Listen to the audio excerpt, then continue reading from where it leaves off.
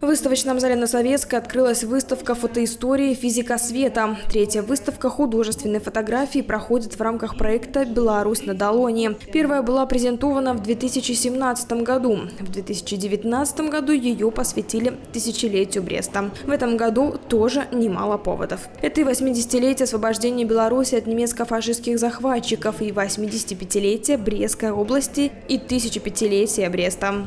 Во-первых, Беларусь на Долоне, э, конечно же, привязана к Беларуси. Название само э, о себе говорит.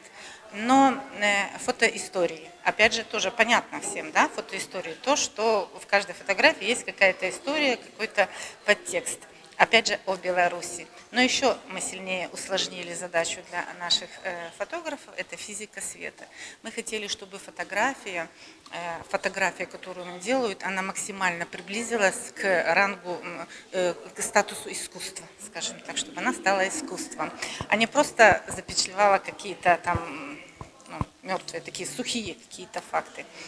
Вот. Поэтому, э, в принципе, это получилось. Там очень много, э, вы посмотрите, работы такие достойные, есть э, фотоэффекты, всякие там технические возможности художники показали. Кто-то просто раскрыл тему Беларусь на Долоне, кто-то рассказал на фотоисторию, но есть такие, которые все три задачи исполнили. Свои снимки представили 15 фотохудожников. Проявить себя смогли как опытные мастера, так и начинающие. Вниманию посетителей было представлено более 100 фотографий, выполненных в различных жанрах. В экспозиции есть и белорусские пейзажи, натюрморты, городские зарисовки, портреты и другие изображения. Среди авторов фотоработы Галины Богданович.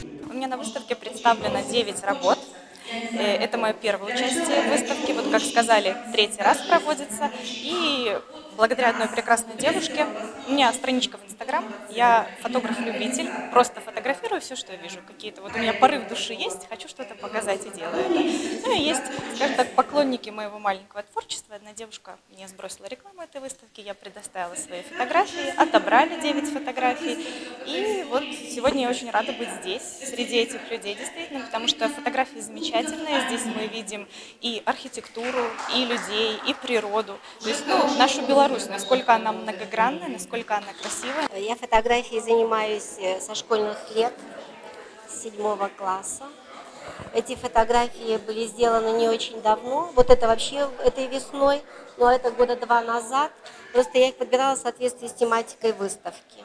Я считаю, что появление э, мобильных телефонов, которые позволяют фотографировать, оно развратило как бы людей. Потому что, да, у всех вот куча фотографий, которые хранятся в телефонах.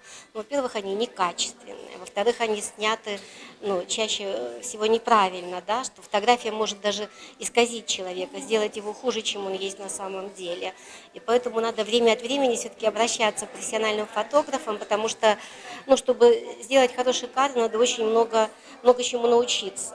Сегодня фотографы снимают все, что их окружает, подмечают нюансы. Они любят свою страну, живущих здесь людей, природу и выражают эту любовь через фотографию. Это радует и вдохновляет, а потому посетителям хочется остановиться около той или иной фотографии и насладиться красотой, которую удалось передать фотографу через свой снимок. Через фотографию они передаются. Не только можно, но и нужно. И художник э, на фотографии отражает свое восприятие мира.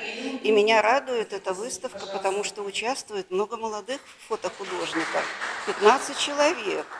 Тут и довольно известные мастера, такие как э, Олег Малейко, как Люкевич э, Анатолий. Но остальные незнакомые имена, но радует, что молодежь все-таки берется за не только за кисть, но и за фотоаппарат и передает через фотоглаз видение мира. И это очень заметно.